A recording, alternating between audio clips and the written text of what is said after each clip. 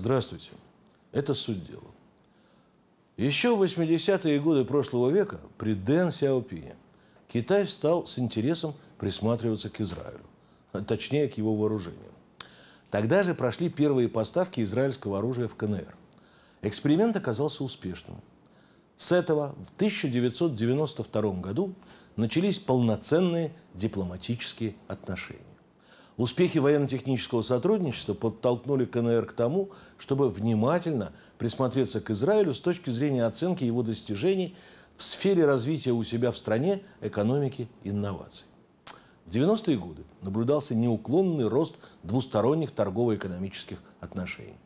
Но самое интересное начало происходить уже в 21 веке. В начале нулевых появилась информация, что Израиль передал Китаю ноу-хау, свернутого в самом Израиле по бюджетным и дипломатическим соображениям проекта создания многоцелевого истребителя «Лави» Ченгду J-10 в китайском варианте. По многим параметрам равного или превосходящего американские и советские аналоги того времени. Эта сделка во многом способствовала формированию современной военной авиапромышленности КНР. Китай обязался только не продавать новый истребитель врагам Израиля, предоставить Израилю право использовать внедренные китайской стороной разработки израильских ученых и рассматривать Израиль в качестве полноправного партнера при продаже истребителя третьим странам. Сегодня Израиль занимает второе место после России по объемам военно-технического сотрудничества с Китаем. Как отмечается в отчете Комиссии Конгресса США по американо-китайским отношениям, израильские поставки – это электронные системы управления огнем для китайского военно-морского флота, оптика и средства связи, крылатые ракеты и ракеты класса «воздух-воздух», беспилотники, авиационные тренажеры и другое высокотехнологичное оружие и техника.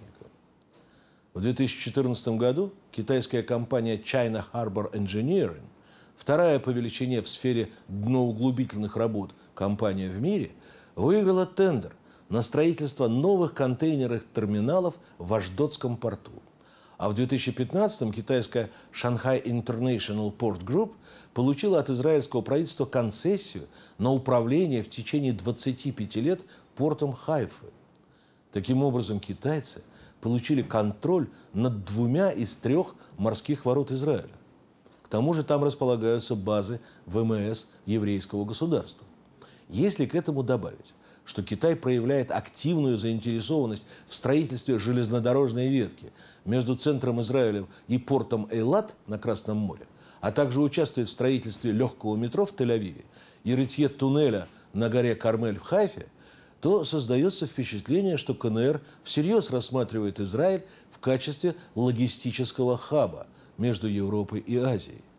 Китайский бизнес стал активно интересоваться приобретением израильских компаний, как малых инновационных предприятий, стартапов, так и крупных фирм. Среди наиболее заметных сделок по приобретению китайскими компаниями израильских можно отметить, например, покупку Махташи Маган Industries – это производитель средств защиты растений. Хэмчайна в 2011 году приобретение крупнейшего израильского производителя молочной продукции Тнува, китайской Bright Food в 2014 и, наконец, покупку ведущего израильского бренда косметики Мертвого моря Ахава компанией Фасун в 2016. Китайцев интересуют израильские технологии в таких сферах, как интернет, кибербезопасность, медоборудование, альтернативные источники энергии, агротехнологии.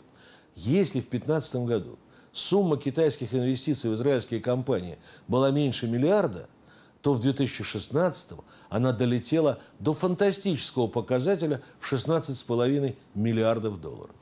Для Израиля долгие годы в процессе формирования собственной экономики и инноваций, опиравшегося только на одно государство – США – Появление нового партнера с высоким инвестиционным потенциалом означает как минимум диверсификацию источников поступления средств, что всегда является позитивным фактором, а как максимум возникновение еще одного огромного рынка сбыта своей инновационной продукции. Все это привело к потеплению отношений между странами. Китай намерен провести у себя прямые переговоры по палестинско-израильскому урегулированию уже в конце нынешнего года. Об этом Си Цзяньпин сообщил на встрече с Махмудом Аббасом. Пекин явно намерен заработать себе дополнительные очки в глобальной игре. Китай явно намерен стать второй страной наряду с США, у которой с Израилем будет полноценное стратегическое партнерство. Это была суть дела. Все будет хорошо. Не сомневайтесь.